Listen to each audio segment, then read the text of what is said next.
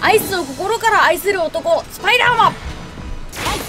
マサルくんスパイダーマンだったのか。そうですね。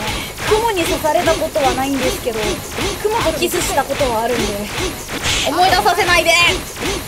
最近俺を知ってくれた方はご存じない方もいらっしゃると思うんですけど昔ね水筒でお茶飲んでたらなんか口にプッて何かが触れてね。下げてプッシュ。よく見たら雲の死体が入っていてねあったっすよねさあ行くよ。よーファーストキスは水泳教室の友達だしセカンドキスは死んだ雲だよ。初めてのキスはレモンの味とか言うけどカルキの味だったよ。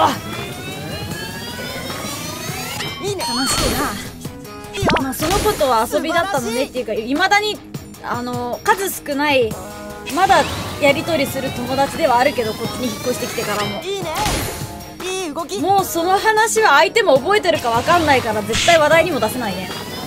学校違っちゃったからさ。1年に数回だけやり取りをするような友達ですけど。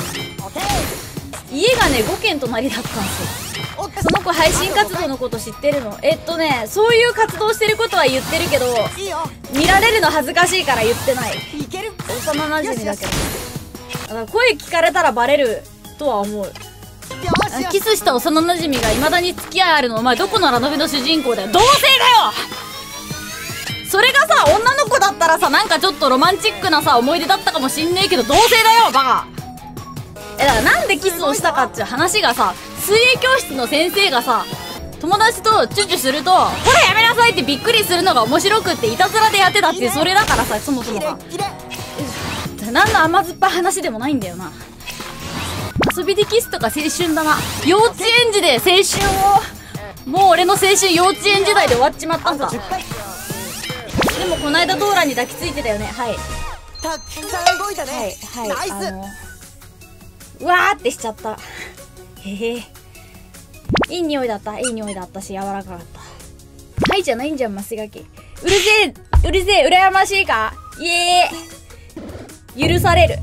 よかった多分ね俺これで高校生とか大学生だったら多分ボコボコにされてたんだろうなって思うからその辺は13歳でよかったってちょっと思っちゃうの。くしょあ違う遊びで抱きついたとかそそんなのあのそんな軽い気持ちじゃないよ。なんか歌っててなんか楽しくなっちゃってドラーってやっちゃっただけだから別に遊んで抱きついてやろうとそんなそんなんじゃないよ。ドラ笑って許してくれるか。ドラ友さんたち燃やさずにむしろなんかどうだった？どうだった？って聞いてくれるから。マサルを燃やすんではなくどうだったかを聞きたがってくれる。